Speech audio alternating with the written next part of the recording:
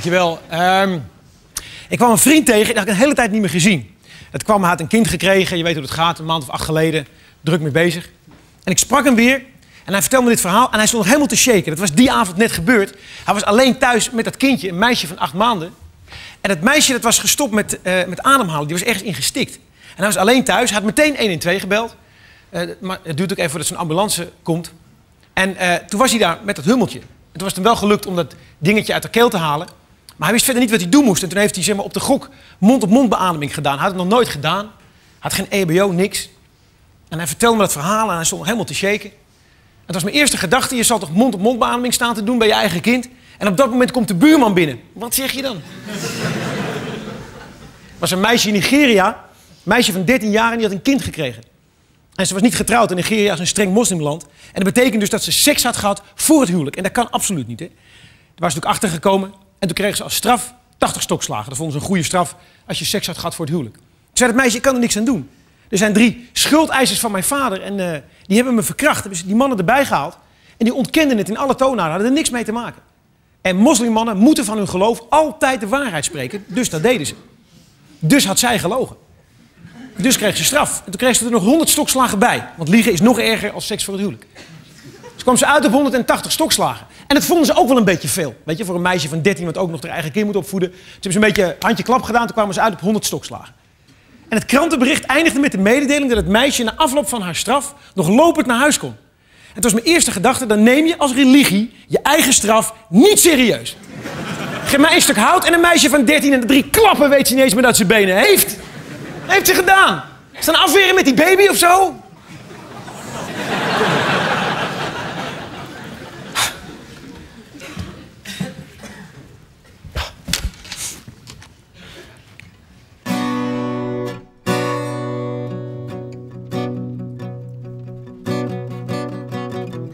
Ze ruikt zo heerlijk in de ochtend. Je ziet er stralen als ze komt. Je streelt de rug, de buik, de billen. Je kent de lijnen rond haar mond. Als zij er is, is het voldoende. Als zij er is, dan is het goed. Als zij er is, dan wordt het rustig. Oh, dat is wat liefde. Dat is wat liefde met je doet. En wat eerst vuur was, wordt gewoonte. Je vergeet ook wel eens iets. De eerste leugen is een kleintje. Dat je snel slaapt betekent niets. Je belt er minder vaak dan vroeger. Je zegt iets liefs omdat het moet. Sluipt berekening in passie. Oh, dat is wat liefde. Dat is wat liefde met je doet.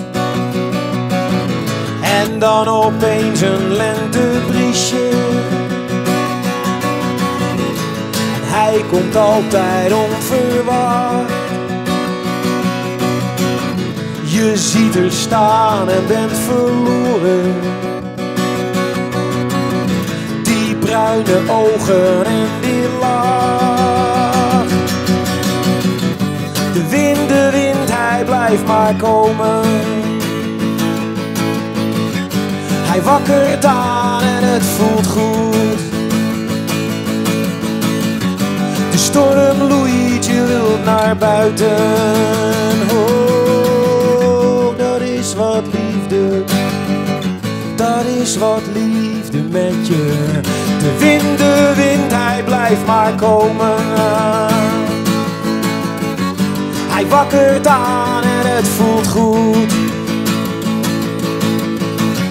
De storm loeit, je wilt naar buiten. Oh, dat is wat liefde. Dat is wat liefde met je. Dat is wat liefde. Dat is wat liefde met je doet.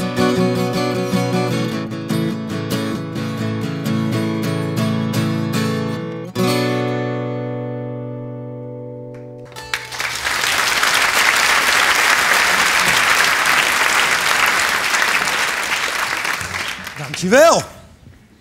Hebzucht. Hebzucht. Ehm,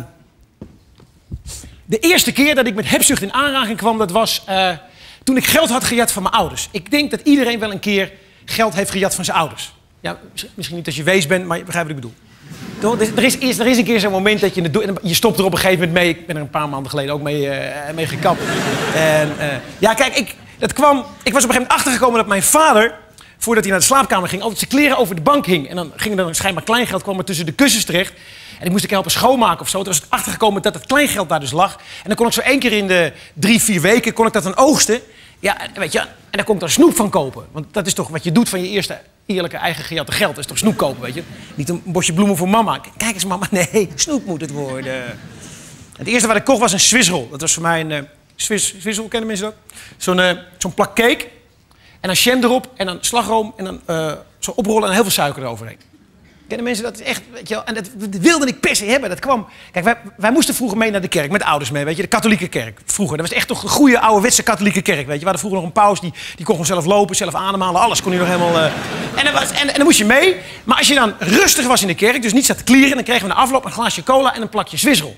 Maar we kregen altijd één plakje zwissel. En dan wilde ik altijd nog een plakje zwissel. Kijk, nog een plakje. En dan was het altijd nee. Dat is natuurlijk om je hongerig te houden, begreep ik achteraf. Voordat je weer naar de kerk wilde. Een soort Pavlov-effect wat er natuurlijk eh, ontstaat. Maar ik wilde altijd al een keer dat tweede plakje zwissel natuurlijk hebben. Dus het eerste wat ik kocht voor mijn eigen jatte geld was een echte zwissel. Dus ik had een zwissel op in het park gaan zitten. Waf, plak eraf, opgegeten. En toen dat magische tweede plakje, weet je. Waf, tweede plakje opgegeten. En toen heb ik die rol gepakt en ik ben gewoon zo, ah, ah, ah, zo gaan eten, weet je. Nou, toen had ik heel snel door waarom we altijd maar één plakje zwissel kregen. Wraakzucht. Ik, eh, ik was op het strand in Frankrijk en er was een vrouw en die was zwanger. En echt goed zwanger, hè. Acht maanden heen. Ze zo'n mooie, dikke, ronde toeterhats en die liep zo te puffen en te hijgen. En eh, ik, eh, we waren op het strand, we hadden de nacht doorgebracht op het strand. Ik ben een vriend samen Nico. Dat was, dat was, we hadden namelijk een spel gespeeld die avond. Dat, was, dat is misschien wel leuk, want dat is nu, weet je wel, dat, is, leuk om te spelen. Als het, als het, als het lekker weer buiten is, dan, kan je, dan ga je op, op, een, op het strand liggen of op het grasveld. En dan kijk je naar de sterren en dan ga je je eigen sterrenbeeld maken. Kijk, we weten allemaal, er zijn sterrenbeelden. Hè? Je hebt bijvoorbeeld eh, de grote beer. Dat, eh, het slaat helemaal nergens op, want het ziet er helemaal niet uit als een grote beer. Er is iemand die heeft gewoon, eh, een grote beer. En er was niemand om te zeggen, ja, maar dat is helemaal geen grote beer. Nee, ja, ik vind een grote beer. Die was niemand, weet je wel. Dus iemand zegt het is een grote beer en wij noemen het nu allemaal de grote beer. Je hebt een steelpannetje. Nou, ik hoop niet dat iemand een steelpannetje heeft wat er zo uitziet. Het slaat helemaal nergens op. Maar goed, iemand heeft gezegd dat is de grote beer, dus was het de grote beer. Hè? Maar er staan geen nummertjes bij die sterren, hoe je ze zo met elkaar moet verbinden. Dus je kan je eigen sterrenbeeld maken. Nou, doe je als volgt. Je op het strand liggen of zo, of op een eh, gasveldje. En dan moet je er wel bij drinken. Ik had in een kwartiertijd een half fles wijn leeggedronken. En toen ben ik, eh, weet je, met mijn ogen zo half dicht, weet je, dat je echt alleen maar de helderste sterren ziet. Dan heb ik zo mijn eigen sterrenbeeld gemaakt. Ik had bijvoorbeeld eh, Jantje Smit met een houten pen door zijn hart. en er waren ook heel veel vallende sterren opeens. Dat je echt even wenst dat er even geen vallende sterren meer zijn. Dat is ook zo'n stom concept, vind ik dat, hè? vallende ster. Als je een vallende ster ziet, mag je een wens doen. En als je dan niet zegt wat het is, dan komt hij uit. Hè? is volstrekt oncontroleerbaar. Het concept van likmervisje. Want als je dus niet zegt, komt hij uit. Dus kun je achteraf zeggen, ja, maar dat heb ik toen gedacht. Wat niet te controleren is. En of je zegt het wel, en dan komt het natuurlijk niet uit, want dan werkt het niet. Of je zegt het wel, en dan komt het wel uit, maar dan komt het uit. Maar niet door die ster, maar omdat het toch wel was gebeurd. Dus het is, het is een concept van likmervisje. En ik ben ook blij dat het is gewoon niet waar. Als je een vallende ster ziet, joh, de wens is gewoon niet waar. En ik ben er blij om ook. Toen ik 16 was, heb ik één keer een vallende ster gezien. Toen heb ik een wens gedaan. En als die wens was uitgekomen, dan lag ik nu nog elke avond pinnen die jager te pompen. dus, maar ja, goed, beter is adviezen, toch? Eh, in op het strand. Kom, gaan we terug naar het strand met z'n allen. Ja, zijn we er weer? Oké. Nou, en die vrouw die was zwanger, echt goed heen. Weet je, acht maanden en liep echt zo te puffen en te hijgen. En even voor de duidelijkheid. eh, voor de, verder gaan, voor, mij zijn eh, vrouwen het sterke geslacht. Hè? Even voor de duidelijkheid.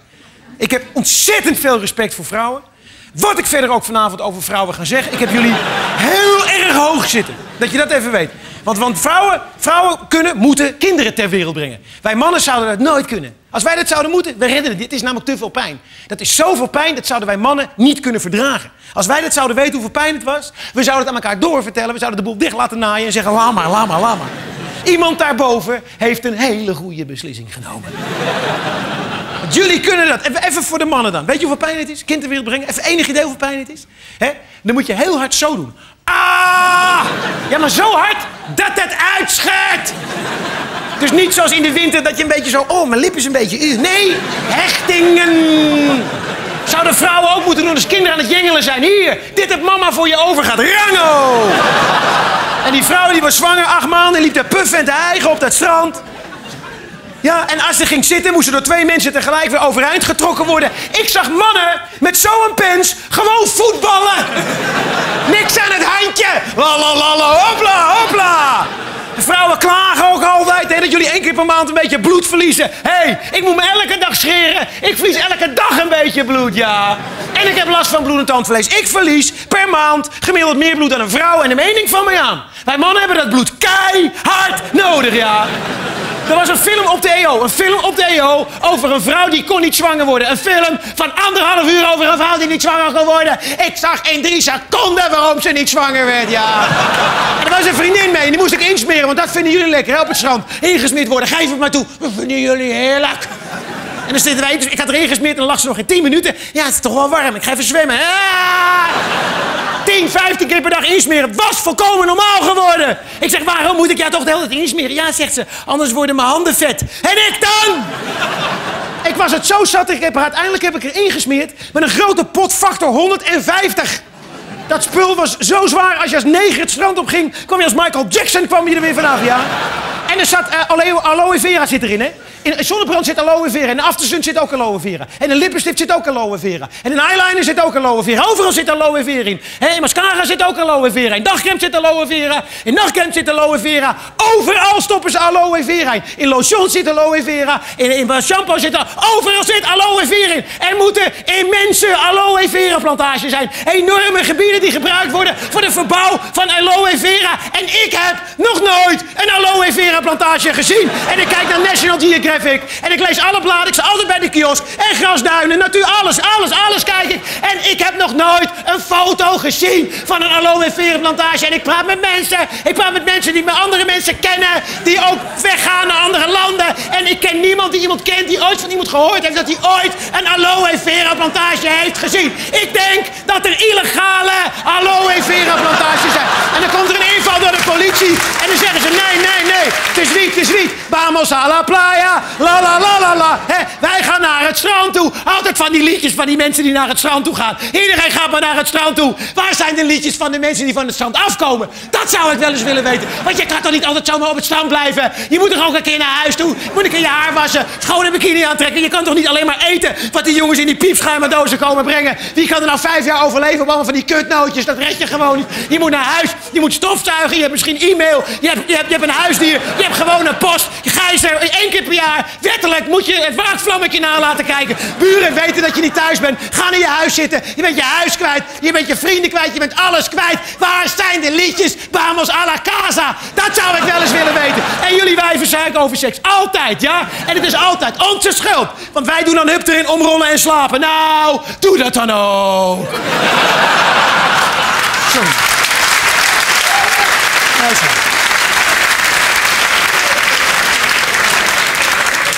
Sorry, sorry, dat laatste had ik niet moeten doen. Dat was niet goed. Nee, maar dat is een dingetje uit mijn jeugd. Dat is... Uh... Ja, en ik weet zelfs precies van wanneer in mijn jeugd, ja. Dat was, dat was, dat was de, weet je, op de middelbare school. Weet je dat? Ik ben er namelijk... Moet even. Ik doe het gewoon eventjes. Ik vertel het eventjes. Kijk, ik ben er namelijk achter gekomen... dat er... Er gebeurt iets in de puberteit met het hoofd van de vrouw... en de vraag is of het daarna nog goed komt.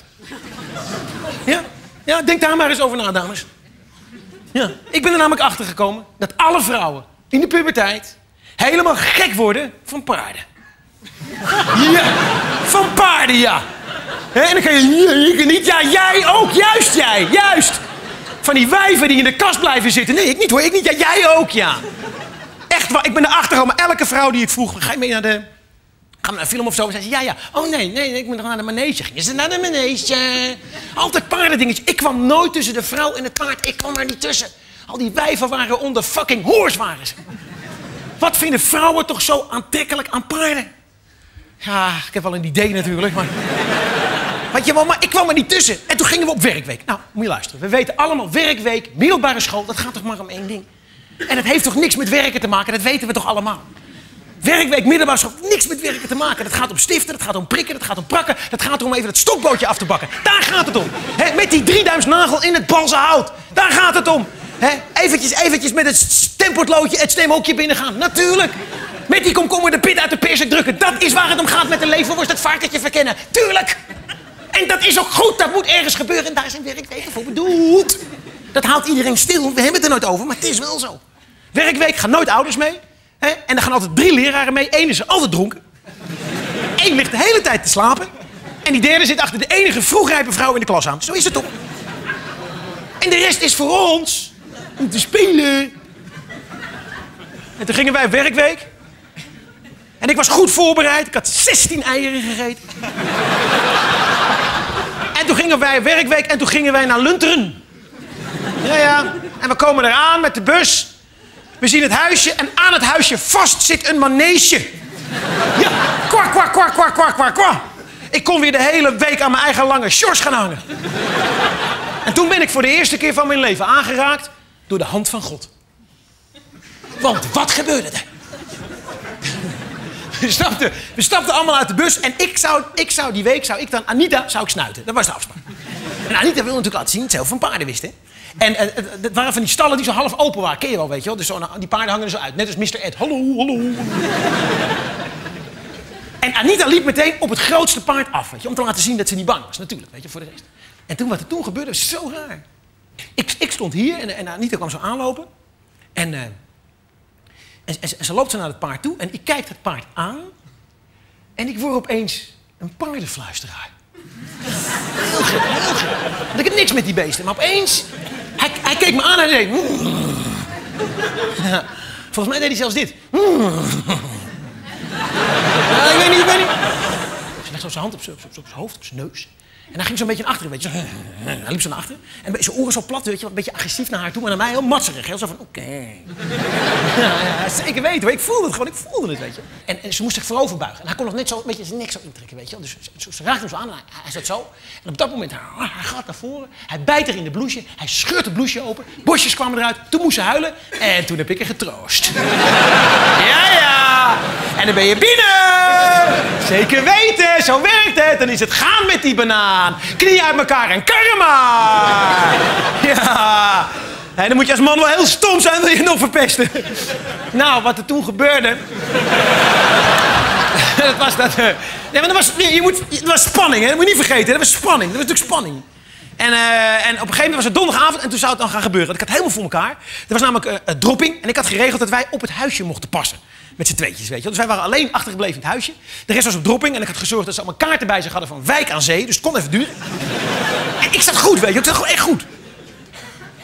En het was, eh, het was 's avonds en, het was, en ik had het helemaal voor elkaar. Weet je. Ik had het romantisch gemaakt en ik had eh, eh, kaarsjes neergezet. Maar ja, we wisten alle twee, dit is dat dan. Dit wordt die eerste keer. Weet je. Net als dat je, dat je gaat trouwen, hè? ook de eerste keer trouwen. Dus ook, dat is iets, dat is iets bijzonders. En ik sta zo boven haar, boven Anita, en ik kijk eraan. En ik zeg, Anita, ik stop hem erin, maar hij komt er net zo uit als hij erin is gegaan. En wakker blijven! Dat is gewoon een geintje, was gewoon een geintje. Nou, toen wou ze niet meer frigide trut, zeg. Ik had een, ik had een vriend, een vrij groot vriend. Can somebody wipe the chicken blood from my penis, please? Thank you. Ik, eh, ik had een vriend, echt een grote, forse knul, weet je. Echt zo'n beer van een gozer. En die had een vriendinnetje. Nou, het was een dwerg. Echt dit, dat je echt denkt, dat moet uit gaan scheuren. Dat kan haast niet anders, hè. En nee, nee, niks, niks aan niks aan de hand. Gewoon. Allemaal, allemaal, eh, allemaal goed. Allemaal... Helemaal goed. Geen probleem. En toen later had hij dus een vriendin van zijn eigen formaat. Echt een grote, forse vrouw. En het schijnt dus de eerste keer dat hij daarmee doet, zeg. Hij haalt hem eruit. Was hij vergeten zijn oude vriendinnetje eraf te halen. maar, maar, maar waar ik het eigenlijk over wou hebben was dieren. Dat wil ik natuurlijk... eh, dieren, daar wou ik het over hebben. Bijvoorbeeld in Nederland... eh, roepen af en toe roepen mensen van... ja, eh, dieren worden met uitsterven bedreigd. Weet je, dat roepen ze dan. De vereniging Das en Bomen zo. Nee, dieren worden met uitsterven bedreigd. Hè, de knoflookpad en de zeggenkorfslak en de korenwolf... wordt met uitsterven bedreigd. Dat, dat, is een cool verhaal. Kijk, als een dier met uitsterven wordt bedreigd... dan is dat een eh, signaal van de natuur. En het signaal van de natuur is dat het diertje zegt... moet je luisteren, ik heb het hier helemaal niet meer naar mijn zin. Ik ga pleiten. Doei! Toch? Dat is het signaal van de natuur. Beesten hebben het niet meer naar hun zin. Maar dan heb je dus de vereniging Das en Bomen en die weet dan wel beter. Die gaat ze dan kweken, hè? Ja, die weten. Dan hebben ze er drie gevangen. Ze hebben er nu geloof ik 50 van gemaakt. Weet je, dat is een partij incest geweest. Nou, daar kunnen ze in Urk een punt aan zuigen. Daar moeten Mongolen korenwolfjes tussen zitten. Dat kan niet anders. Dat is opa met kleinkinderen geweest en kets maar raak, mensen. Daar moeten, koren, daar moeten uh, korenwolfjes met een slijmspoor zitten er die kooi. Ik weet zeker. Ja, is het nou een slag of is het een korenwolf? Nou ja, als het maar zeldzaam is, dan zetten we het toch uit. En dan gaan ze die beesten uitzetten in een gebied waar die beesten het helemaal niet naar hun zin hebben. Dat is toch knoop in je zakdoekniveau? Dat slaat toch nergens op? Kijk, die beesten moeten het naar hun zin hebben als je in Hongarije... Als je daar een oude boomstronk optilt, dan liggen daar onder 15 korenwolven met elkaar de hele Kama Sutra af te werken. In 24 uur ploegendiensten. Omdat ze het daar naar hun zin hebben. Als je wil dat die beesten komen in Nederland, moet je zorgen dat ze naar hun zin hebben. Oostvaardersplassen hebben we niks aan gedaan. Maar dan hebben de beesten het lekker naar hun zin. En er zitten nou ooievaars, er zitten, er zitten zilverreigers, er zitten lepelaars, weet ik veel wat er allemaal zit. Omdat ze het daar naar hun zin hebben. Als je meer korenwolven wil, moet je eerst zorgen dat ze naar hun zin hebben. He, misschien moeten er wat kantoren verdwijnen. Om te beginnen met kantoor van Das en Boom. Grasveldje van maken. Wij, wij, snappen er echt geen ene hol van. Wat wij doen in Nederland is dieren die het hier niet meer naar hun zin hebben. Daar stoppen we heel veel geld in. En die, en die willen we per se hier houden. En die gaan we dan helemaal uitzitten. En dieren waar het hartstikke goed mee gaat. De, de vossen, fazanten, die schieten we af. Want die willen we niet. Nee, vossen willen we niet. Want die eten de verzand op. En wij willen de verzand afschieten. Dus, uh, nou ja, schiet er maar. Oké, ik vertel even, ik ga even een, een goed verhaal uh, over dieren. Kan iemand het hondenbloed van mijn zwans wassen? Dankeschön. Nee, goed even een goed verhaal voor. Dat was, ehm, ik was, uh, ik, was in Gorsel. Waar? In Gorsel. Waar ligt dat? Waar ligt Gorsel? In, Overijssel? Bij Zutphen. Bij Zutphen. Ligt toch in Gelderland? Ja, Overijssel. Dat is Gelderland, hè? Ja, ga je goed af, hè? Oh, je dacht dat je even, mij uh, even gek kon maken of zo? Denk je dat ik die niet van tevoren helemaal heb uitgezocht of zo? Zo, en dat op de eerste rij. En ik praat om met zoveel consumptie. Het wordt echt niet minder, hoor. Het wordt echt niet minder. En ik zweet er ook nog. Ja. En ik heb ook nog een megafoon. En die is hard zo vlakbij, man! Het lekker zien! Ja. Dat voor mensen met dyslexie. Dus ik was in Gorsel en dan was ik bij een valkenier. En valkenier, dat zijn mensen die met valken nieren. En, en die man heeft daar een boerderij helemaal verbouwd. Heeft die 17 valken heeft hij erin zitten. Die heeft hij afgericht. Niet, ze kunnen geen kunstjes of zo. Het is niet zoals je aankomt dat er allemaal valken op een fietsje zitten met een rokje zo. Maar weet je wel, ze zijn tam, zou ik maar zeggen. Zo, zo tam dat je ze gewoon met een ding vast moet houden. Maar goed, maar daar gaat het niet om. Weet je, het zijn gewoon afgericht. Laten we het daar even op houden. Hij zegt dat ze afgericht zijn. En wie ben ik om dat tegen te spreken? Uh, dus, dus hij heeft, maar prachtig. Het ligt aan een stuk, uh, stuk grond en dat, uh, daar, daar, langs loopt de Overijsselse... Uh, de Gelderse IJssel loopt er langs. Dankjewel. Dankjewel. Oh, dat is leuk. Dat is leuk. Oké, gaat hij weg of gaat hij niet weg? We gaan Want zo heb ik er geen zin meer in. Het is hij of ik. Heeft Pim Fortuyn ook een keer gezegd. En we weten allemaal wat er gebeurd is. Oh. Luister. Uh, valkenier. En die had uh, 17 valken. En dat, langs zijn boerderij daar stroomt de Gelderse IJssel. En het is een prachtig riviertje. Dat is zo'n riviertje dat meandert echt nog door, door Nederland heen. Weet je. Ze hebben daar dat, dat, stukje, daar is geen beschroeiing en zo. Het is gewoon zandgrond. En die rivier die stroomt elk jaar net een klein beetje anders. En dan slijpt hij zo'n bocht uit. Als bijvoorbeeld een boom daar de rivier invalt, laat ze het gewoon liggen. Een beetje wat je in Frankrijk ook hebt, weet je. Gewoon oernatuur, zou ik maar zeggen. En je, je ziet ook helemaal geen hekjes, niks. Het is prachtig. Nou, dan krijg je daar, als je daar komt, krijg je eerst morgens les hoe je met die dieren om moet gaan en zo. En dan smiddags mag je echt jagen met een valk. En dat is zo gaaf. Dan sta je op het binnenplaatsje van die boerderij. En dan krijg je zo'n zo'n leren handschoen krijg je dan zo om. En een kapje over je hoofd, balkje in je mond en een zweepje. En dan... En dan krijg je een valk, die wordt er dan zo opgezet. Die moet je dan zo vasthouden. Want ze zijn wel afgericht, maar niet zo goed. Dus je moet ze dan vasthouden dat hij niet weggaat. En dan ga je lopen met zo'n beest. En dat is Sorry, en dat is echt gaaf. Dan, loop je dus langs die rivier, door zo'n oerlandschap. Het, het is net of je in de middeleeuwen bent, weet je. Dan loop je met zo'n beest en dan kijk je het beest aan en dan zie je, nou ja, niks. Maar je loopt met zo, en dan, weet je, dan gaat zo'n beest gaat dan aan je wennen. En jij bent aan zo'n beest en dan zo na een half uur, drie kwartier, ga je echt jagen met een valk. Nou, wat dan gebeurt is het volgende. Dan laat je hem dus los, weet je, dan vliegt hij in een boom. En dan eh, krijg je een stukje kipfilet, dat is het natuurlijke voedsel van de valk. en dan moet je dan omhoog gooien, weet je wel. Maar dan, Weet je, uh, maar natuurlijk niet meteen, want het is het enige uitje van de dag. Dus je moet het een beetje... Hop, niks. Ah, ah. Op een gegeven moment dan gooi je dat stukje een stukje dan gooi je dan zo omhoog. En dan komt hij woe, en dan pakt hij het zo in de vlucht, boven je hoofd pakt hij. Dan gaat hij in een boom zitten aan de andere kant en eet hij het op. En dat is het. Ja, het viel me ook een beetje tegen, moet ik zeggen hoor. Ja, ik, had echt, ik dacht echt, weet je, met zo'n valk jagen. Dan krijg je zo'n valk en die ziet dan bijvoorbeeld een jong konijntje. En dan is hij natuurlijk niet meer te houden, weet je wel. Want dat is voor hem, dat is gewoon zijn eten. Dus dan, dan, dan moet je hem loslaten. En dan duikt hij op dat konijntje af en dan slaat hij het wild. Want ze slaan het wild, hè, die beesten. Dan slaat hij het wild. En dan rollen ze nog door, omdat hij natuurlijk heel veel vaart heeft. En dan, en dan ligt hij zo met het, met het konijntje en dan pikt hij zo die ogen eruit. Want dat is het lekkerste zacht. En is ook dat hij zeker weet dat hij nergens meer heen kan. En dan scheurt hij dat konijntje open. En dan rukt hij zo het nog kloepende hartje. Dan rukt hij eruit. En dat bloed, dat alle kanten op. Maar het is gewoon een stukje kipfilet. Maar goed, waar, waar, waar het verhaal voor wil vertellen... dat is dat... ehm, kijk, die, die man vertelde dat de gemeente Gorsel had op een gegeven moment besloten... om op dat stuk grond daar langs die rivier... daar mocht dagrecreatie komen. Daar, daar mochten ze in de zomer overdag tenten en caravans staan. En moesten s'avonds weer weg. Maar hij was zijn gebied kwijt. Weet je, waar hij met die beesten bezig was. Hij, kon ook eigenlijk nergens heen, want omheen waren wel wat weilanden, maar er was van boeren waar hij niet op mocht. En er werd mais verbouwd en graan. Dus hij was gewoon zijn plekje kwijt. Hij heeft die boerderij vijf jaar geleden verbouwd en hij was gewoon alles kwijt. Hij had een hele goede vriend en die ging heel vaak naar Roemenië. En in Roemenië, daar barst het van de vuursalamanders. En die zijn heel erg zeldzaam in Nederland. Zij zegt, kan je niet eens een keer voor mij wat van die beesten meenemen? Half jaar later, die vent gaat daar naartoe. En eh, die geeft wat jongetjes wat geld, wat Roemeense jongetjes. En hij komt terug met een doos. En in die doos eh, zaten twaalf vuursalamanders. En hij belt meteen een andere vriend van op, die zit eh, bij uh, Natuurmonumenten. En zegt, luisteren man, ik, eh, ik loop hier door eh, het gebied hierachter. Bij de, ja, bij en ik zie een beest wegschieten, maar met hele grote, felle gele vlekken. Is dat een ziekte? Is het giftig? Nee, nee, dat is een vuursalamander! Zeldzaam, zeldzaam! Ja, ik weet het niet. Ik denk, ik bel je even. Ja, kan ik langskomen? Kan ik langskomen? Ja, jongen, je kan komen wanneer je wil. Ik kom nu! Ik kom nu! Ik kom nu! Nu kom ik, nu.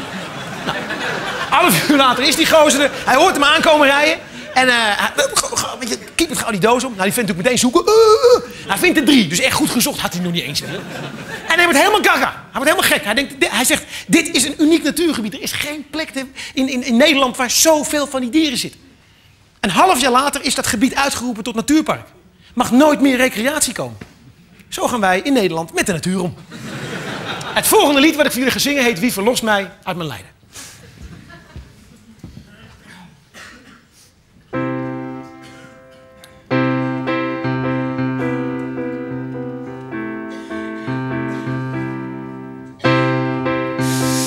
Oh,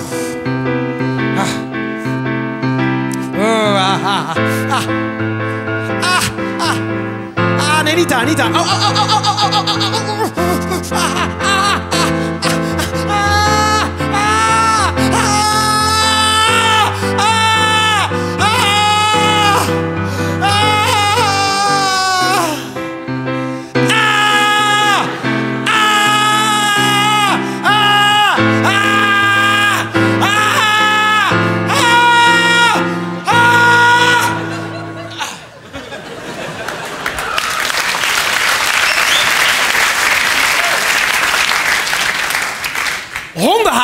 hoofdstuk 15, de Jack Russell. Wie heeft er hier een Jack Russell? Kom maar, zeg maar even. Zit in deze zaal, neem het van me aan, zeker drie mensen met een Jack Russell. Ja, hè? Ja, het is een heel populair hondje. Oké, wie heeft er een Jack Russell? Zeg maar. Zeg eens ja. Hallo. Je weet toch zelf wel dat je een Jack Russell hebt? Kom nou zeg. En jij? Ja, jij hebt kijk wel uit, je hebt helemaal geen honden, want die lopen altijd bij je weg, hè? Omdat zelfs honden niet naar je luisteren. Baas me niks. Lelijke man. Ja, jullie zien dat niet, maar ik zit er heel tijd naar te kijken. Oh, mag ik hem niet meer beledigen nou? Is dat nou de deal? Ik zit hem de hele tijd lekker te beledigen en dan ga ik even lekker door, omdat ik dat leuk vind. Nee, dat kun je eigenlijk niet zeggen. Dat kan ik wel zeggen, ja. En je puistenkop, man. Ja. Wat nou, oh, als je het ziet, geef je me gelijk. Is het nog steeds om? Vriend. Je krijgt me wel straks. Dacht je dat nou echt, jongen? Hè? Dacht je dat ik bang voor je was, mannetje? Want ik heb vrienden waar ik van hou. Maar wie heeft hier een Jack Russell? Dat is natuurlijk de vraag. Gewoon even eerlijk zeggen. Ik ga je matsen. Want ik, ik hou van jullie. Bijna allemaal. Nee, ik hou van jullie. Wat ik doe is, ik draai me om. Ik hoef niet eens te weten waar je zit. Ik wil gewoon even dat je eerlijk bent. Zeg dat je een Jack Russell hebt. Oké? Wie heeft er een Jack Russell?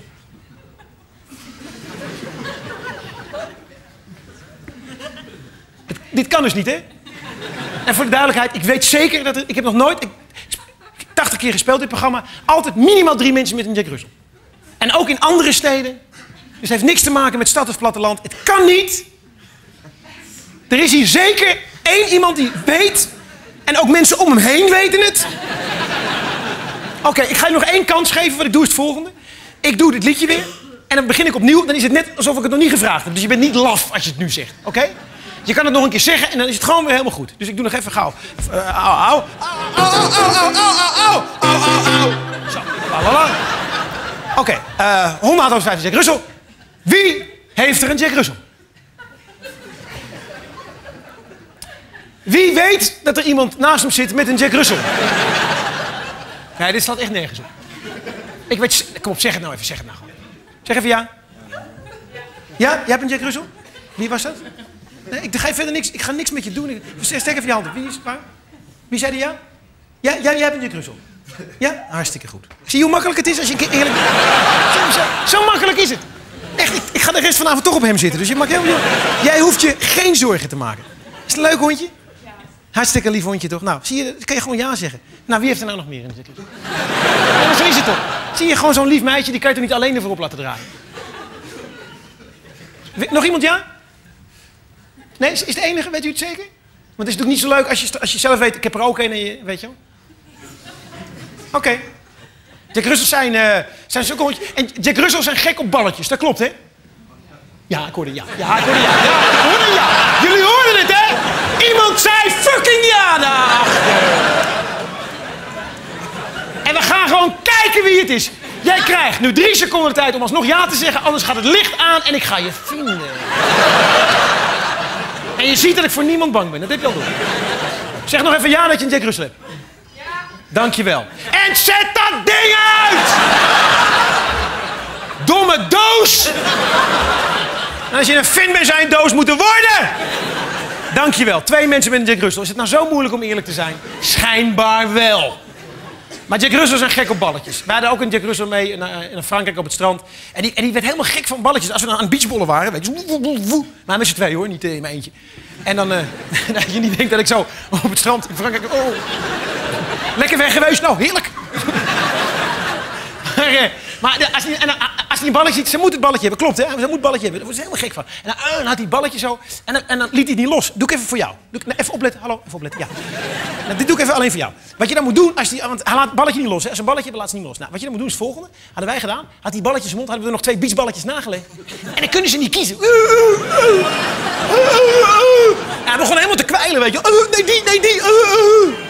Uiteindelijk liet hij hem los en is hij maar eh, weggegaan. Uh, uh, uh. Nou, dat is toch lachen, toch, hè? Dat is lachen. En Jack Russells die trekken met hun eh, rechter achterpootje. Dat klopt, hè? Oeh, ik had er bijna weer een. Voel je? Je? Voel je? Je voelt mensen... eh. Maar dat is zo. Trekt hij van jou ook met zijn achterpootje? Zijn linker achterpootje. Maar dan is, is dat als je van voren naar hem kijkt of van achter? Ja, maar dan heb je natuurlijk, je weet toch niet... eh, maar hij met zijn linker, dat kan natuurlijk, weet je. Dat hij gewoon eh, linkshandig is, natuurlijk, zeg maar. Nee, maar heel veel, dat hebben eigenlijk alle Jack Russells hebben dat. Die, hebben, die trekken dus met een, eh, met een beentje. Dat is gewoon een afwijking. Die ze hebben. Die, er zitten daar te veel spieren en dan kunnen ze niet kwijt. Dan lopen ze en dan doen ze, doen ze even zo.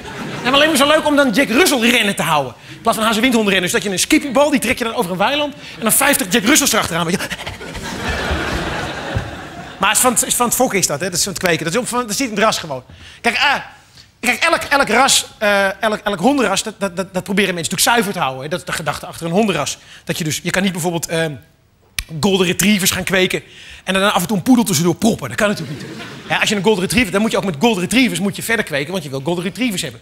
Want je wilt het ras natuurlijk wel zuiver houden. Hè, moet je eens proberen bij mensen om een ras zuiver te houden, wat je dan over je heen krijgt. Maar bij honden is dat geen enkel probleem. Maar die, die, ze proberen dat ras proberen ze zuiver te houden. Wat ze dan doen, dan, eh, ja, gaan ze dus door met kweken. Maar daardoor zijn natuurlijk bepaalde genetische eigenschappen die worden dominant. Bijvoorbeeld hoe zo'n beest eruit ziet, dat die gek is op balletjes. Dat zijn dingen die, die, die zijn niet meer uit het ras te halen, want dat is het ras gewoon. Maar er zijn ook natuurlijk negatieve eigenschappen die eh, op een gegeven moment, zoals dat pootje wat dan trekt, dat krijgen ze er niet meer uit. Want dat zit gewoon in, dat is dat beest nou eenmaal. Eh, en dat zie je bij heel veel honden. Bijvoorbeeld bij, eh, bij herdershonden, die krijgen last van hun heupen als ze ouder worden. Bijvoorbeeld chihuahuas, dat zijn die kleine ratten aan touwtjes. Daar sluit de fontanel niet meer van. Dus de, de, de hersenen sluiten niet meer. Dus je, de, dat groeit wel huid overheen, maar dan kan je gewoon met je vinger door die huid heen prikken. Ja. Miauw, miauw, boef, boef. Meh, meh, meh, meh, meh, meh. Miauw, boef, boef, boef, boef. Meh, meh, u. Eh, eh, bulldogs, dat zijn die honden met zo'n Louis van Gaal hoofdje. Die, eh, die kunnen niet eens meer op natuurlijke wijze geboren worden. Dat, die komen er niet eens meer uit. Daar heeft de natuur al van gezegd. Dat zullen we niet meer doen. Staat nergens op. Ja, maar wij weten beter. Want wij zijn mensen, dus wij weten alles beter. Dus we snijden die eh, honden open, we halen die jongen eruit, naaien het weer dicht... en we wachten tot ze weer nieuwe jongen krijgen. En ik vind iedereen verantwoordelijk voor wat hij zelf doet. Dus ook mensen die een rashond nemen, zijn verantwoordelijk voor het feit dat ze die rashond nemen. Dus zijn ze ook verantwoordelijk voor het feit dat ze dat die dieren aandoen. Je kan ook zeggen, ik wil gewoon een dier wat helemaal gezond is. Maar nee, ze willen per se een rashond. En dan maakt het ze verder geen ruk uit dat er met die beesten ook op een gegeven moment wat aan de hand is. Dat vind ik bijvoorbeeld ook bij varkensboeren. Hè, varkensboeren zijn verantwoordelijk voor wat ze varkens aandoen. Als jij als varkensboer een spuit in die beesten zet, met hormonen erin en antibiotica, ben je er verantwoordelijk voor dat jij die spuit zet. Maar wat doen de varkensboeren nou? Die zeggen, nee, dat komt door de marktprijs. Wij, wij moeten wel. Door de marktprijs. Ze verschuilen zich achter de marktprijs. En dan denk ik, nee, jij doet het. Dan ben je er verantwoordelijk voor ook. Vroeger kreeg een, eh, een zeug, vrouwtjesvarken, kreeg 8 tot 10 biggetjes. Dat was al heel veel. Tegenwoordig 30. Ze hebben het zo weten te kweken dat ze nu 30 jongen krijgen. Maar ja, dat moet wel, vanwege de marktprijs. En omdat het zoveel zijn, moeten ze ook goed bij die spenen kunnen om te drinken. Wordt eh, die moeder, die wordt dus eh, drie weken lang met een stalen buis zo vastgelegd dat ze op de zij ligt, dat de jongen er goed bij kunnen. Ja, dat moet wel, vanwege de marktprijs. En anders beweegt die moeder te veel en dan drukt ze een paar jongen dood. En dat kan natuurlijk niet, hè, vanwege de marktprijs. Je zou ze natuurlijk ook veel meer ruimte kunnen geven, maar ja, dat kan niet. Vanwege de marktprijs. En ik vind al die varkensboeren verantwoordelijk voor het feit dat ze dat doen. Jij bent varkensboer geworden en jij doet dat die beesten aan. Zo vind ik ook iedereen die een wielklem zet verantwoordelijk voor het feit dat hij die wielklem zet. Maar je kan hem ook niet zetten. Of een ander baantje nemen. Ik mag heel graag als ik een eh, dagje vrij heb of een uurtje loos en ik fiets door de stad en ik zie weer zo eentje zo'n uh, dinky toy uh, langs rijden. Even met hem meelopen. Zo, jongen. Wat heb jij een gave baan, zeg. Hé. Stoer, man. Klemmen zetten op een auto. Stoer. En wat een mooi uniform heb je aan. Prachtig, zeg. Er is altijd één iemand verantwoordelijk voor de file. Er is altijd één iemand die als eerste op de rem is gaan staan. Er is altijd één iemand die als eerste te langzaam is gaan rijden. En wie is dat? Dat is degene die als hij voor zich uitkijkt geen file ziet en in zijn spiegeltje wel. Het is je allemaal misschien een keer gebeurd. Je rijdt op de weg en je hoort de verkeersinformatie. En dan hoor je dat ze zeggen van ja, er is een file van drie kilometer. Dan denk je, nou, ik zie hem helemaal niet. Nee, lul, jij bent de file. En wie klagen er over de file? Hè? Dat zijn altijd mensen die zelf in de file staan. Die klagen over de file. Hoe kan je nou klagen over iets als je hem zelf bent? Mensen klagen over wachtlijsten, dat je op je derde moet inschrijven als je op je 89ste een gouden heup wil. Ga dan ook niet op die lijst staan. En dan bel je het bedrijf en dan krijg je zo'n bandje. Druk een 1 voor dat, druk een 2 voor dat, druk een 3 voor dat. Ah, ik wil gewoon met iemand praten. En voor die, voor die bandjes gebruiken ze dat vrouwenstemmen, hè? want die komen helder door de horen. Als vrouwen die bandjes niet meer zouden opnemen, zou dat systeem niet bestaan. Dat systeem is de schuld van de vrouwen. niemand wil er in de hondenstront trappen, toch? Helemaal niemand. Zelfs eigenaren van Jack Russell willen niet in de hondenstront trappen. Zelfs een Jack Russell wil niet in de hondenstront trappen. Geef die beesten dan ook geen eten. Ah.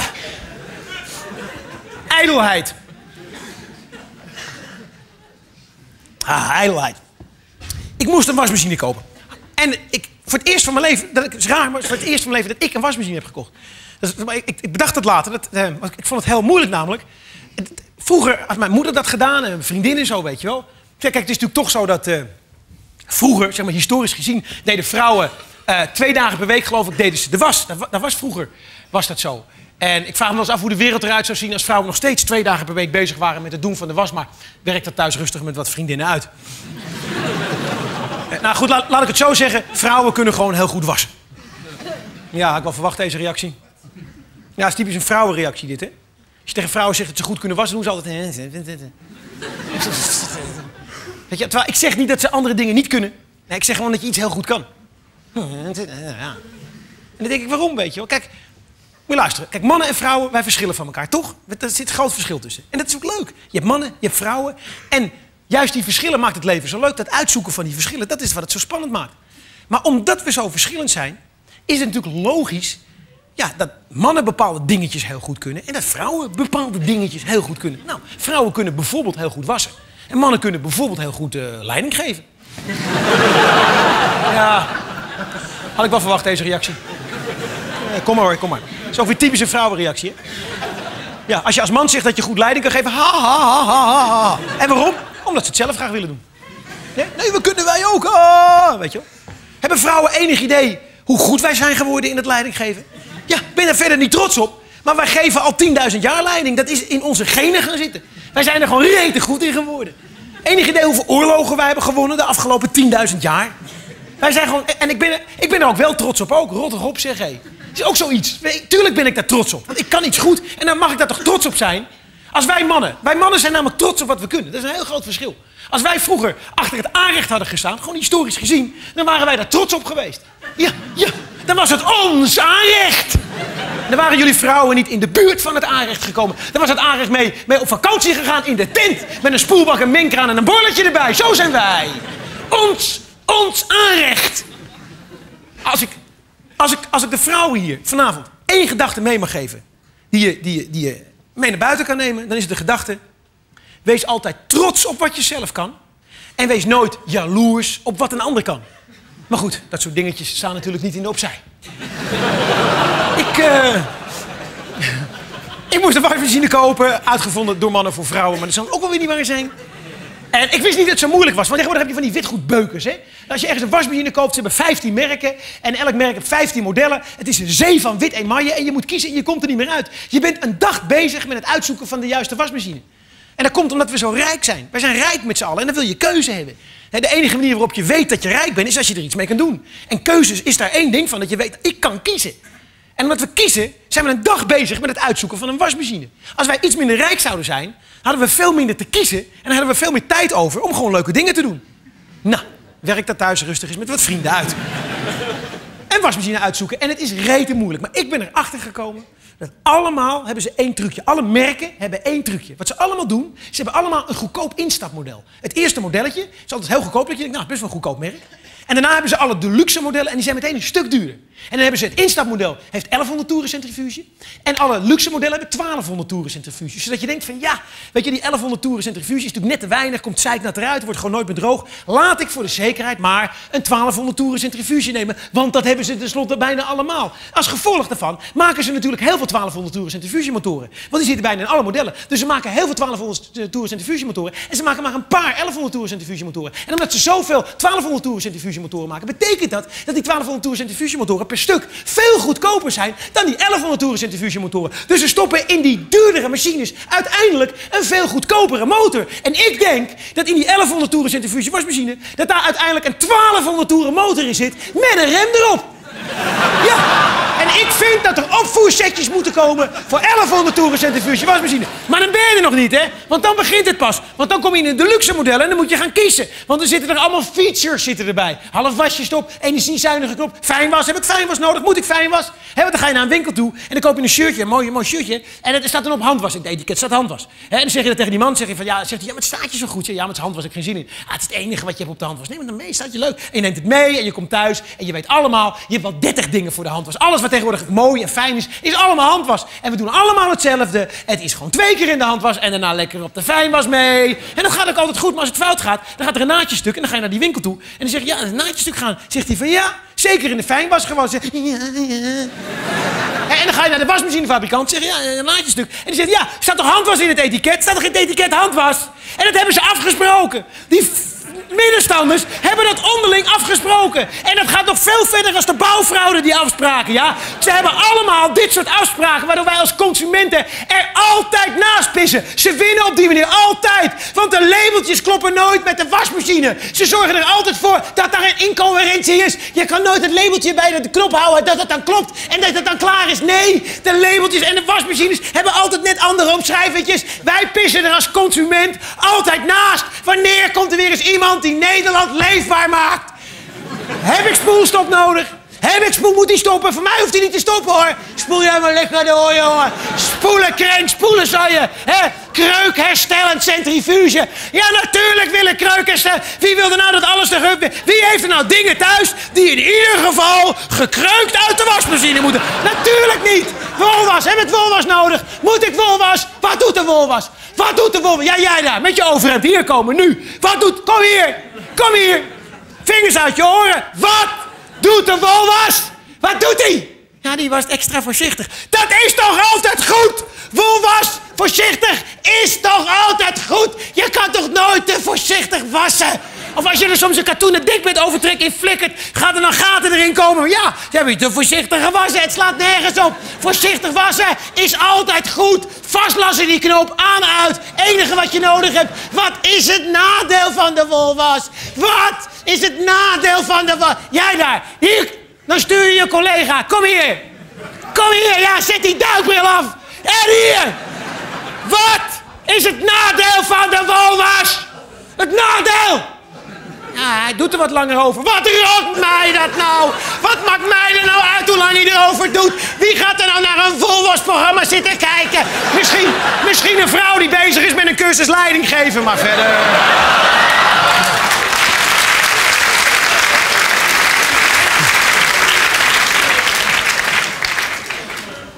Ah.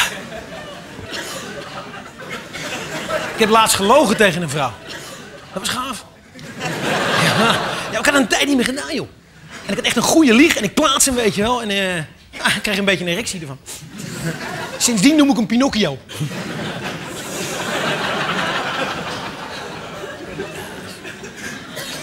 Ja, dit, wij moeten soms liegen tegen vrouwen, dat is niet helemaal zo. Wij, wij doen soms dingetjes die vrouwen niet leuk vinden. En, en, en dan zeggen die vrouwen, zeg maar eerlijk wat er gebeurd is. En dan zeg je eerlijk wat er gebeurd is en dan krijg je ruzie. En jij wil geen ruzie en die vrouwen willen geen ruzie, niemand wil ruzie. Dus als wij liegen tegen de vrouwen, kunnen we die dingetjes doen die we graag willen doen. En je hebt geen ruzie. En dat lijkt mij een win-win situatie. vrouwen begrijpen ons gewoon niet. Nee. Volgens mij werkt het hoofd van vrouwen volgens het Amerikaanse rechtssysteem. Everything you say can and will be used against you. Ik, leg, ik vertel gewoon even wat er gebeurd is. Kun je zelf beoordelen. Dat is redelijk. Moet luisteren. Ik, uh, ik, ik, moest mijn rijbewijs, moest ik, uh, ik, moest, ik moest mijn rijbewijs moest ik verlengen. En dan ging ik naar het stadsdeel. Weet je, sta tegenwoordig in 20 minuten weer buiten. Ik leg mijn rijbewijs neer. Er zit een vrouw achter de balie. En die zegt, goh, wat ziet hij er nog nieuw uit? Ik zeg, ja, hij is ook nieuw. Hij is hartstikke nieuw. Ik heb hem namelijk uh, verleden jaar twee keer moeten laten vernieuwen, omdat hij twee keer gejat was. En als je een rijbewijs laat vernieuwen, dan kost dat dus dubbele van verlengen. En omdat jullie hem vernieuwen, kunnen jullie hem niet tegelijkertijd eventjes verlengen. Dus ik heb eigenlijk al vier keer het bedrag voor verlengen betaald. En nu kom ik eindelijk een keer terug om hem te laten verlengen. Had ik dus nooit op die toon moeten zeggen. Ze zegt, heb je pasfoto's bij? Natuurlijk had ik pasfoto's bij me. Niemand gaat zijn rijbewijs verlengen zonder een pasfoto. Ik leg ze ernaast en zegt, zijn hetzelfde. Zien ze eruit? Ik zeg, ja, het zijn ook hetzelfde. Van hetzelfde setje zelfs. Want de vorige keer dat ik pasfoto's had te maken, kreeg ik er vier. En je hebt er altijd maar twee nodig. Hè? Ook zo'n middenstandstrucje is dat, hè? Je hebt altijd maar twee pasfoto's nodig. Er is niks op deze aardkloot waar je vier pasfoto's voor nodig hebt. Maar ze hebben onderling afgesproken, ja, ze gaan per vier. Waarom? Waarom gaan pasfoto's niet gewoon per twee? Nee, je moet er altijd vier kopen. En dan krijg je ook nog zo'n kutboekje bij om ze in te bewaren. Dat is een handig boekje. Ik wil dat boekje helemaal niet. Ik wil gewoon twee pasfoto's dat ik er vanaf ben. Maar nou heb je altijd het boekje. En dan moet je altijd maar... Ja, ik heb, je, je, je wilt niet weggooien. Je wilt niet weggooien, want je bent een Hollander. Dus je gaat toch dat boekje zitten bewaren. Waarom hebben we altijd vier pasfoto's nodig? Ik ga toch ook niet naar de bakker en dan vraag ik een halfje wit gesneden. En dan legt hij er drie krentenbollen bij. Ja, het is een setje. Het is een setje. Ah! Dus ik leg ze neer en ik zeg, het zijn dezelfde, van hetzelfde setje. Zeg ik, hetzelfde. En ze kijkt dus ernaar en ze zegt, ja, kan ik niet accepteren. Ik zeg, wat? Nee, dat kon ze niet accepteren. Ik zeg, waarom niet? Nou, zegt ze, uh, uh, het is nu juni en de vorige keer dat u rijbewijs bent komen vernieuwen, dat was in november. En een pasfoto mag nooit ouder zijn dan zes maanden.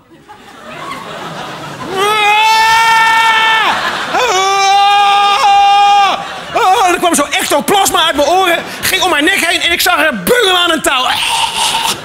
In mijn hoofd, hè? allemaal in mijn hoofd. En toen ben ik voor de tweede keer van mijn leven aangeraakt door de hand van God. God was even koffie drinken. En ik sta, ik sta aan de balie en, en, en ze zegt, ik kan niet... En, ik, en, ik, eh, en toen opeens werd ik aangeraakt door de hand van God en, en ik besefte dat ik dat boekje bij me had met die oude pasfoto's. En ik bladeren, bladeren, bladeren. En ik vind nog twee precies dezelfde. Genomen in 1996 in het Franse skioord Les Arcs. Ik moest als morgens om half acht voor mijn skipas moest ik pasfoto's laten maken. En ik kreeg er vier! En ik had er maar eentje nodig. Dus ik had nog twee dezelfde over. En die waren s morgens om half acht. Ik had, ik had, het waren op vakantie, dus ik had me helemaal niet geschoren. Ik heb een drie dagen baardje, mijn haar zit zo. Ik heb een rare das om. Ik heb 's ochtends van die, van die, van die dikke Benny Nijman ogen, ziet er niet uit. Nou, die foto zit nu op mijn rijbewijs. Ik leg ze neer, ik kijk eraan. Ik zeg gisteren genomen, ik ben naar de kapper geweest. En ze wist dat ik loog, hè. Ze wist loepzuiver dat ik loog. Er bij de ballen. Soms is het leven verrukkelijk.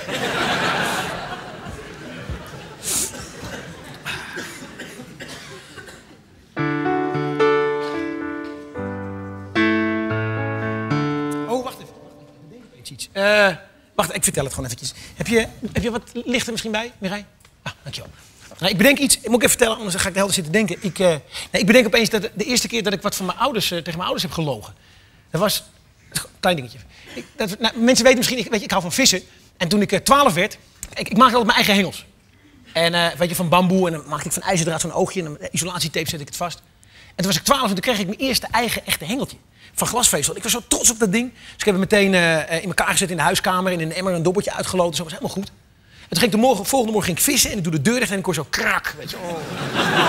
Ja, hij was langer. Hij was langer. Het gekke was, ik wist niet wat ik doen moest. Weet je. Ik, ik, ik, ik voelde dat ik de waarheid gewoon niet kon zeggen. Dus ik ben naar viswater gegaan. Ik heb twee uur aan het viswater gezeten met een geknakte hengeltje zo. Weet je. En uiteindelijk ben ik naar huis gegaan. En eh, mijn vader die had een tv-zaak op de hoek van de Inees Parkweg. En ik, ik loop de winkel binnen en, eh, en mijn vader zegt, wat is er? Ik zeg, hebben die jongens gedaan? Twee jongens hebben dat gedaan. Ja, wat is er nou gebeurd? Nou, die jongen, een jongen die zegt, geef me je engeltje. En die brak het zo dan midden op zijn knieën. En mijn vader zegt, ja, hoe zagen ze er nou die ene jongen had een leren jekkie aan en een spijkerbroek. En ik verzon een heel signalement, weet je wel. En toen zegt mijn vader, kom op, we gaan ze zoeken. Heeft hij de winkel dicht gedaan, hebben we twee en een half uur de Amsterdam-Oost gereden. Zeven jongetjes gevonden die precies voldeden aan mijn beschrijving. Zitten nog vast. Nou, wacht, ik vertel dit ook even. Moet je luisteren. Dat is een goed verhaal. Moet je luisteren. Ik, eh, ik geloof dat alles berust op toeval. Dat is, dat is voor mij een heilige overtuiging. Ik weet zeker dat, eh, dat er niet een opperwezen is, een God, die alles regelt. Dat jullie nu hier zitten en in welke volgorde jullie hier zitten. Dat ik mijn been hier zet of mijn been hier zet. Volgens mij berust alles op toeval. En ondanks het verhaal wat ik jullie nu ga vertellen, blijf ik volhouden dat volgens mij alles berust op toeval. Nou, ik heb al verteld, ik vind eh, vissen vind ik geweldig. Het tweede wat ik, voor mij is optreden is ook, weet je wel, eh, is elke avond groot feest. Ik doe het zo graag. En toen was ik voor het vorige programma van Niet uit het Raam gevraagd om, het is aan een slotvoorstelling en daar maken ze altijd een feest van. Nodigen ze eh, andere mensen uit en ze hadden mij gevraagd om een lied te zingen in die slotvoorstelling. Het lied van Eli Asser, er is één ding wat ik nooit zou willen missen, vissen. Er is één ding wat ik nooit zou willen missen, vissen. Nou, lijkt me geweldig om dat te zingen. Dus ik uh, die tekst erin gezet, want ik ben heel slecht in teksten uit mijn hoofd leren. Dus het heeft me drie weken gekost. Elke keer als ik ging hardlopen op de heenweg, twee keer dat lied in mijn hoofd, terugweg. En maar, en maar, maar, maar onthouden, weet je wel. Akkoorden uitgezocht thuis. En ik had het, zat als een huis in mijn hoofd. En toen was het maandagmiddag, 1 uur. Maandagavond zouden we hier in een kleine komedie zouden de voorstelling zijn. En er komt iets over me heen en ik wist één ding zeker. Ik ga vanavond dus dat toneel niet op. Ik, ik had gewoon weer zin om op te treden. En ik snapte er niks van, maar ik belde meteen Peter Heerschop op van niet dat raam. Ik zeg, joh, ik, ik, ik kan het niet vanavond. Hij zegt, ben je ziek of zo? Ik zeg, nee, er is eigenlijk niks. Ik ga het gewoon niet doen. Ik kan het niet. Hij zit hier, weet je wel, uh, er is geen ramp. Er waren nog andere mensen die ook, uh, die ook liedjes deden. Van Muiswinkel kwam, want ik, wat, het programma was vol genoeg. Hij zegt, één liedje meer of minder gaat het niet maken of breken. Hij zegt, kom nou gewoon man, je hoort erbij. Je bent een vriend, weet je. Voor mij ga je in de coulissen zitten op een krat bier en je suipt je klem. Wat maakt dat uit? Zorg nou gewoon dat je erbij bent. Ik zeg, kijk wat ik doe. Ik heb twee uur op de bank gezeten. Eigenlijk aan niks zitten denken en opeens denk ik, ik ga vissen. Ik had zo lang niet meer gevist, drie, vier maanden lang niet, weet je, zoals altijd met leuke dingen. Nee, morgen ga ik het wel doen, morgen ga ik het wel doen. Ik had het gewoon niet gedaan. Ik denk, oké, vissen. Ik heb mijn hengels gepakt, zijn altijd klaar. Ik was binnen een half uur, had ik koffie gezet, ik had uh, broodjes klaar, alles op oké. Onderweg, drie kwartier later, zit ik aan mijn favoriete stuk. is mijn eilandje, dat is ongeveer 20 meter uit de kant. Kan ik precies zo tegen de rietkraag aanwerpen. En het is een waanzinnig mooie zomeravond. Van het bladstille weer. Er zaten een paar merels te zingen boven in de bomen. Het is een eilandje met een paar bomen erop. Het was echt geweldig. Echt alsof de natuur zei van, fijn dat je er even bent, weet je. Gewoon dat gevoel kreeg ik een beetje. En eh, ik heb een paar kolken gezien van vissen, maar ik had nog niks gevangen. Maar dat geeft niet op zo'n avond. Het gaat alleen maar om dat je er bent. En opeens zie ik uit mijn linker ooghoek, daar is een, eh, een, een, eh, hangt een tak in het water van een willig. Er zit een deining in het water. En ik zie meteen, dat is een hele grote karper. Gewoon de manier waarop dat deinde, waarop dat zo golfde. En ik kijk zo, en het is aan de zijkant is het toch ongeveer zo ondiep is het maar. Eh, en een beetje troebel water. Ik zag wel zo'n zwarte schiem. Maar ik zag zo die lippen van het beest, weet je wel. Zo, zo grote, dikke oranje lippen. Zo, zo aan de oppervlakte. En als ze aan de oppervlakte zitten, moet natuurlijk ook aan de oppervlakte aas aanbieden. Dus ik heb meteen mijn hengel binnengehaald, dobber eraf, alleen een haak eraan geknoopt, broodkorst eraan. Heel voorzichtig in de buurt van die vis neergelegd. Zo. Moet ook niet op zijn kop leggen, want doet hij... en dan is hij weg. Kan niet. Dus in zijn buurt, weet je. En dan is er nog een beetje keuze links of rechts, want dan ligt ik aan welke kant op zwept. En, ik, en het is zo spannend dan, weet je. Want je, weet gewoon, ga er naartoe, man. Ga er naartoe, weet je wel. Kijk, als je beet krijgt met je dobber, is het gewoon weg en slaan. Maar nu heb je ook dat, dat stuk daarvoor. Dat je gewoon ziet dat hij in de buurt is, weet je. Van, doe het dan, doe het dan. En op een gegeven moment liep hij zo er naartoe. En hij, hij, zat gewoon met zijn lippen tegen het aas aan, weet je. Tegen die broodkorst. Op een gegeven moment pakte hij die zo.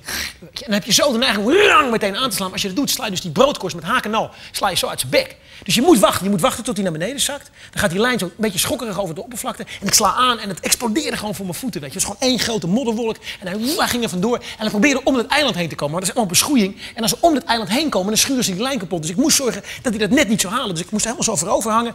En eh, met de, op rek van mijn lijn en met de slip wist ik hem zo net tegenhouden. Vlak voordat hij om het eiland was, moest hij eh, over zijn eigen kop heen gaan. Hij had, had geen snelheid meer om door te, om door te zwemmen. Dus ik, ik, ik, ik had hem over zijn moment heen. En, en toen kon ik hem zo heel lang zo terugkrijgen op de plek waar ik het vissen was. En ik heb hem zo eh, uitgedrild zo, voor mijn neus. En na een minuut of 15, 20 was het zover. Toen gaf hij zich over. En dat is zo gaaf, want je hebt ervoor gezien natuurlijk aan kolken en zo. En aan zijn staart dat het een grote vis is, maar nog niet echt de vis zelf. En als ze zich overgeven, dan gaan ze op een zij liggen. En dan gaan ze zo, weet je, dan komen ze zo aan de oppervlakte. En ik zag meteen dat het een enorm beest was. Hij had een hele grote bek, een hele grote schub. En ik dacht meteen, wow, dit is een big one. Heb gauw, eh, weet je, gauw mijn landingsnet, als je nat maakt in het water, onder die vis, zo aan de beugel zo de, kant op gehaald. Nou heb ik altijd een, eh, een driepoot klaar staan. Met erop een eh, fototoestel. En ik heb zo'n zindertje. Dus heb ik zo'n eh, foto gemaakt. En klik. Ja, dat is een mannendingetje. En, eh, en ik meet hem, maar ik meet hem. En het is de grootste vis die ik ooit gevangen heb. De grootste schubkarper, 89 centimeter, die ik ooit van mijn leven gevangen heb. Dus ik vang, terwijl ik in de kleine komedie had moeten zingen... er is één ding wat ik nooit zou willen missen, vissen... vang ik de allergrootste karper van mijn leven. Tot op de dag van vandaag mijn record. En ik pak die vis voorzichtig beet. Ik zet hem terug in het water. En ik pak een kop koffie. En wat er daarna gebeurde, kan niet. Iedereen die iets van vissen weet, anders moet je het geloven... het kan gewoon niet. Ik zit daar koffie te drinken en zo'n plek is verstoord. Weet je? je hebt heen en weer gelopen, je hebt, die vis is daar bezig geweest. Dus al die vissen die gaan, die zijn weg. Ik ga altijd weg van zo'n plek en dan ga ik ergens anders vissen op een andere plek. En na een paar uur kom ik terug of de volgende dag. En terwijl ik koffie drink, zie ik op exact dezelfde plek zit weer een grote karper. Weer een deining in het water, terwijl het water nog aan het nadijnen was van die vorige vis. En ik zie dat en het is weer een joekel. En koffie weg, huppakee, hengel, broodkorst eraan. In ieder geval, die vang ik dus ook. En ik haal hem eruit en ik meet hem en hij is 2 centimeter korter. Dus ik vang de ene grootste vis en de grootste vis in een half uur tijd. Maar ik weeg ze ook. Hè. Ik weeg vissen gewoon. En hij, hij was 24 pond. En daarmee de zwaarste vis die ik ooit gevangen heb. Hij was iets korter, maar hij was zwaarder als die vorige vis. Dus ik vang in een half uur tijd de zwaarste vis en de langste vis die ik ooit gevangen heb. Op het moment dat ik in de kleine komedie had moeten zingen... er is één ding wat ik nooit zou willen missen, vissen. En ik blijf volhouden dat het berust op toeval.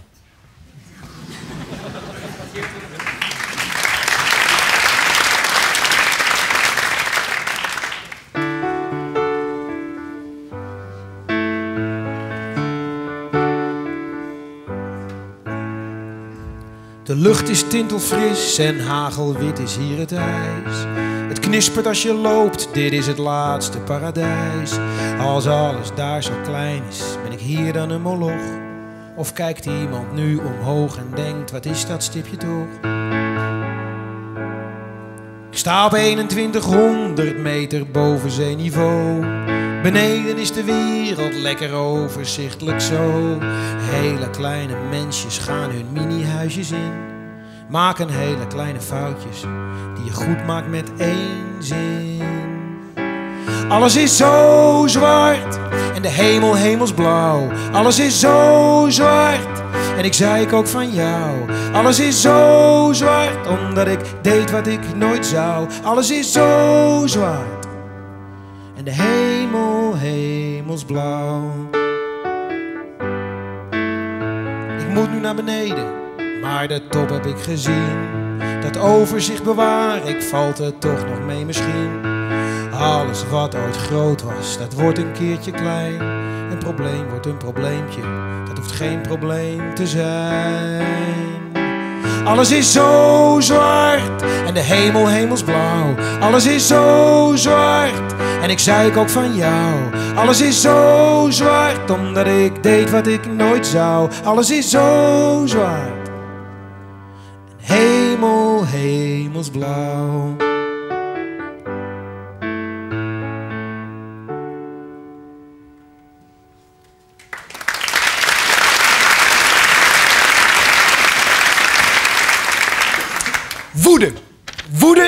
Moet je kanaliseren. Ik zat in het lege huis en toen heb ik meubels gekocht bij het bedrijfje Jensi Kova. En eh, misschien hier in Amsterdam wel bekend. En ik had daar een bankstel besteld en een stoel. En het duurde maar voordat ze leverden. Meubels duren altijd lang, maar weet je, het duurde gewoon veel te lang. Dus ik ga naar die winkel toe. Ik zeg, wat is er aan de hand? Toen bleek dat het bankstel al anderhalve maand klaar stond in de berging. Maar ze waren nog aan het wachten op eh, de stoel. De stoel die moest komen eh, uit een klein goedkoop fabriekje in Polen of zo. En die kwam maar niet. En ze wilden het pas aan mij leveren als ze het alle twee hadden. En ik werd gek, dus ik heb die brief geschreven om die woede kwijt te kunnen. En eh, nou, je, komt zo. Je, je zag het ook bij, eh, weet je, toen Pim Fortuyn eh, doodging, dat mensen gewoon daar niet mee om konden gaan. Er, er was woede en die kon geen kant meer op. Dus mensen begonnen te roepen, Melkert moordenaar. En er werd met hekken gegooid. Je je zag mensen helemaal zo. En dat kwam omdat, kijk, Pim Fortuyn was natuurlijk een heel bijzondere man. Want Pim Fortuyn heeft aan, aan, aan, aan die mensen en aan heel veel mensen verteld wat we niet wisten. Namelijk dat het gewoon helemaal niet goed gaat met Nederland. Want wij dachten toch allemaal dat het eigenlijk best wel goed ging in Nederland. Wist je nog?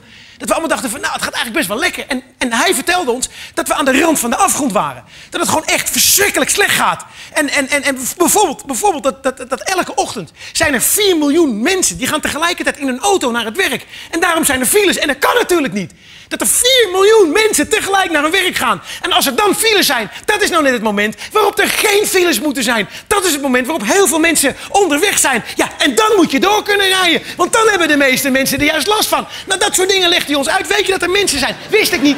Wist ik niet. Er zijn cijfers over. Er zijn mensen in Nederland die soms wel een kwartier op een trein moeten wachten. Middeleeuwse toestanden. Waar zijn we mee bezig in dit land? Het is te gek voor woorden. Er moet meer politie op straat, meer blauw op straat. Op elke straathoek moet een politieagent komen. Dat is de manier om die criminelen te pakken. Want dan weten ze dat er politie is. Dan komen ze de deur uit, dan zien ze een agent en dan denken ze: oh fuck, en dan gaan ze weer naar binnen toe. We zouden toch een overval plegen. Ja, maar er zijn heel veel agenten buiten. Oh, oh, oh, oh. De wachtlijsten. Het lijkt India wel in Nederland. De gezondheidszorg stelt in Nederland helemaal niks meer voor. Je ziet het toch om je heen. Mensen vallen als witjes aan alle kanten. Mensen vallen gewoon op straat, vallen ze dood neer. Mensen vallen als mussen van de daken. Mussen zijn er ook al niet meer. Is ook de schuld van Paars. Paars heeft er een puinhoop van gemaakt. Het is een zootje geworden in Nederland. En dat moeten wij die asielzoekers vertellen. Want dan komen ze hier niet meer naartoe. Als de asielzoekers weten hoe slecht het gaat met ons land, dan blijven ze weg. En als er geen asielzoekers meer komen, zijn al onze problemen opgelost. Ah. Scheitenbakkers zijn het gewoon. Balkenende is zo verschrikkelijk bang, hè? Ja, ze moeten wel allemaal, allemaal Nederlands praten. Hij is zo bang is hij, hè, voor ze. Ja, iedereen moet wel Nederlands praten. Weet je waar Balkenende bang voor is? Dat hij in Amsterdam in een tram zit en er zitten de drie Marokkaanse jongetjes... en die zeggen achelen, machelen, kachelen, achelen, machelen. En dan is hij bang dat hij overvallen wordt. En hij vindt dat ze allemaal Nederlands moeten praten. Ja, wat denkt hij dan, ja? Dat ze dan heel hard gaan zeggen van... hé, hey, we gaan die snuiter van het CDA, die gaan we eventjes pakken. Nee, natuurlijk niet. Houden hun bek en ze pakken je toch wel. Want dat doen Nielgers nou helemaal. Ja, klaar. Maar nu zo bang zijn. Dat gaat doen met die taal, dat. Ze moeten, waarom moeten we weer verplicht taal? Hier, er zijn sinds de jaren 50 zijn er al Chinezen in Nederland. Toch, sinds de jaren 50, Chinezen in Nederland. Iemand ooit een probleem gehad met een Chinees? Nee! Je gaat naar Chinees toe, je zegt 26 en je krijgt een babi pangan klaar. Niks, geen taalproblemen. Je hebt alleen maar een probleem met een Chinees als je hem na drie dagen weer opwarmt uit de koelkast en je hebt last van je maag. Dan heb je een probleem met die Chinees. Dat scheiterige gedoe allemaal. Ha, weet je, en het gedoe ook met... Het is al, alles draait om allochtonen. De maat der dingen in Nederland is de allochtoon geworden. Hè, alles is... En dat is gewoon discrimineren wat er gebeurt. Ik vind dat het woord allochtonen moet verdwijnen. Alles is namelijk draait om de allochtonen. Er zijn te weinig allochtonen in de Tweede Kamer. Is er ooit iemand die een probleem heeft gehad... dat er te weinig Amsterdammers in de Tweede Kamer zijn? Te weinig slagers in de Tweede Kamer? Te weinig mensen met een Jack Russell in de Tweede Kamer? Nee, het interesseert je geen ene hol. Maar nou zijn er te weinig allochtonen en is opeens... Oh, wat erg, er zijn te weinig allochtonen. hey, misschien vinden ze het helemaal niet leuk om in de Tweede Kamer te zitten. Ja, misschien gaan ze liever neuken met elkaar. Nou, laat ze toch. Dat gezeik, laat ze doen wat ze willen doen, ja. Dat is, je moet gewoon met allochtonen omgaan zoals je met andere mensen omgaat. Dat doe ik ook, bijvoorbeeld in Amsterdam. En dan lopen er twee Hollandse jongetjes. Dan lopen gewoon, gewoon een blikje op straat. Dan zeg ik, ja, flikker maar op straat. En dan loop ik heel hard door als kijk ik een schroevendraaier in mijn nek. En maar dan loopt er bijvoorbeeld een Marokkaan. De Amsterdam, van die oude Marokkanen, die lopen van die jurken met, met zo'n puntmuts op. Het is net een kloekoetslen. En die lopen dan, en als je daarbij meeloopt, dan hoor je... Flats! Ik weet niet waar ze het vandaan halen. Maar alsof er een kudde reigers is leeggelopen. En dan zeg ik, gadverdamme! Want dat vind ik goor. Nou, en dan loop ik door en dan laat ik hem. Dan doet hij maar mee wat hij wil. Gewoon met die mensen omgaan zoals je met andere mensen omgaat. Als wij een gouden kettingje omdoen, dan doen we toch één gouden ketting, jong. Dan gaan we toch niet kijken hoeveel gouden kettingen we kunnen dragen... met hoeveel bijpassende gouden ringen. En ik zeg niet dat het goed is. Ik zeg niet dat het slecht is. Ik zeg alleen dat het anders is. Als wij een auto hebben, dan hebben we toch een auto die voor de deur staat waar je weg gaat rijden. En toch niet een auto waar je eerst de hele zaterdag onder moet gaan liggen klussen. Zeg niet dat het goed is. Zeg niet dat het slecht is. Ik zeg alleen dat het anders is. Als wij een vrouw hebben, dan proberen wij toch echt bij die ene vrouw te houden. Zeg niet dat dat goed is. Zeg niet dat dat slecht is. Ik zeg alleen dat het anders is. Als wij een mes uit de keukenla halen, leggen we die toch terug in de keukenla en nemen we dat mes niet mee naar school. Zeg niet dat dat goed is. Ik zeg niet dat het slecht is. Ik zeg alleen dat het anders is. Als wij elkaar een hand geven, geef elkaar toch gewoon een hand. En gaan we niet eerst vijf minuten manuele therapie met elkaar lopen doen. Zeg niet dat het goed is. Zeg niet dat het slecht is. Zeg alleen dat het anders is. Als wij een stukje vlees willen, gaan we naar de supermarkt, halen een stukje vlees. En gaan we toch niet met een geit op het balkon lopen klooien. Zeg niet dat het goed is. Zeg niet dat het slecht is. Ik zeg alleen dat het anders is. Als wij een liedje zingen, zingen toch een liedje over ik hou van jou, blijf je trouw, cd van jou, cd van mij. En niet welke nikker bitch we nou in welke nikker asshole gaan modderfucken. Zeg niet dat het goed is. Zeg niet dat het slecht is. Ik zeg alleen dat het anders is. Als wij kleren kopen, kopen we toch kleren van onze eigen maat. En niet vijf maten te groot. Ik zeg niet dat het goed is. Ik zeg niet dat het slecht is. Ik zeg alleen dat het anders is. Ik was op een van de Canarische eilanden, La Gomera. Daar hebben ze dit. Shim van kiwi met aloe vera. Ik was aan het hardlopen. Ik was aan het hardlopen bij Diemen. Nieuwe broek, speciaal gekocht. En ik ben aangevallen door een fucking Jack Russell. Hier, hij hangt er zo in. Kijk dan, hier, gat, ja, gat. Dat wijf, die vrouw, die loopt met dat hoopje en ik loop ding, hij hangt erin. En ik doe hem zo los in een gat in mijn broek. Ik zeg tegen die vrouw, hier, hij heeft, hij heeft mijn broekstuk gebeten. Weet je wat ze zegt? Oh, dat kan hij nooit gedaan hebben. Ik zeg, dikke domme troll dat je er bent. Je ziet toch dat hij eraan hangt. Je hoort hem toch grommen. Mislukte dikbelkoe. Heb jij soms een Dick Russell met een nieuwe afwijking? Als hij een gat in een broek ziet, zit hij zijn bek eromheen of zo. Jij hebt hond niet onder controle. Jij zit evolutionair onder de honden. Jij zou hier naakt rond moeten lopen en de boel onder moeten schijten met je vette hol. En het zou nog beter zijn ook, want ik loop harder dan jij en dan was dit nooit gebeurd. Jij bent een amoebe met borsten. Dat ben jij. Jij bent een hompcelle die de vorm van een vrouw heeft aangenomen. Ze hebben ooit een vrouw aan een miljonair gekoppeld. Ze raken jou aan de stadswachter nog niet kwijt.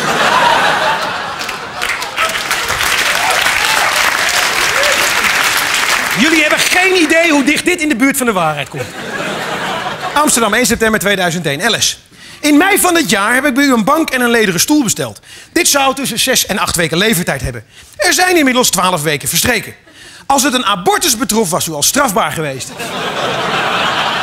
nou, die brief is gelezen hoor. Nu bleek bij navraag in de winkel dat de bank al een tijdje klaar stond, maar de stoel was het probleem. Vervolgens ben ik gaan pogen uw expeditie te bellen. Hij begon met een vrouwenstem die zei dat ik een 3 moest indrukken voor leveringen. Daarna een 2 voor de medewerker expeditie. En daarna een 4 voor de afdeling stoelen. Daarna kwam ik weer terug bij 3 voor leveringen. Het was spannend, maar ik heb nu een hartslag van een bungee jumper die tijdens de val merkt dat ze het elastiek zijn vergeten.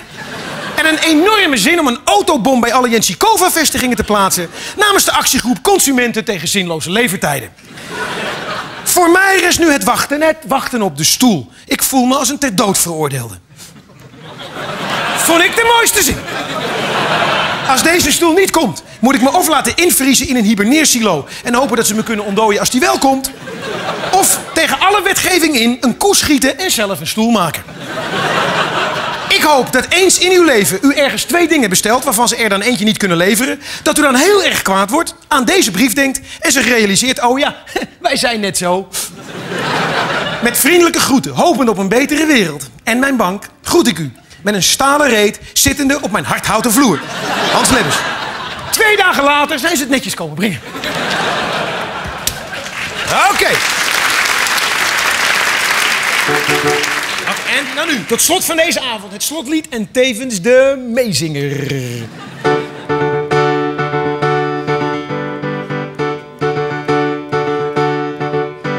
Een man heeft een geweten, heeft zijn trots en zijn verstand.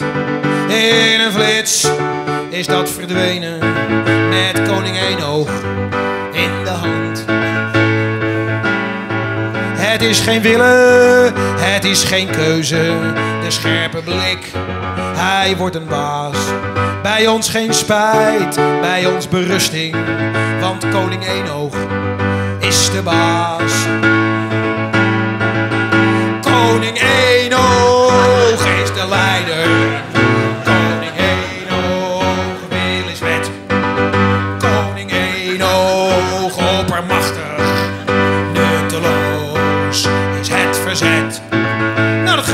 Meezingen. En ik zou het maar doen, want we gaan net zo lang door tot het lukt. Hè? Dat begrijp je wel. Gisteravond 17 keer. Elke ruzie, elke oorlog. De drang naar hebzucht, macht en poen. Eh, dat is niet wat mannen willen, maar wat de koning ons laat doen. En de vrouwen, zie ze lachen, dat wij zo zwak zijn en onvolmaakt. Terwijl zij nou net de schuld zijn dat de koning steeds ontwaakt. Nou, dan gaan we. Als het één keer goed is, is het ook in één keer goed, hè? Zo ben ik. Koning Enog is de leider. Koning Enog. Koning Enog wil eens wet. Koning Enog wil eens wet. Koning Enog oppermachtig. Oppermachtig.